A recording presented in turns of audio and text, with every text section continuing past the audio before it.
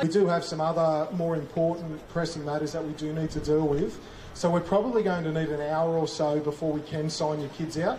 I'm really, really sorry that we've had to postpone the performance, but we will work to um, getting you access to the school as quickly as we possibly can, and we will do that um, as we look after the kids. So um, we were doing showcase, then um, then this light like fell on some kid, and a couple of people got injured.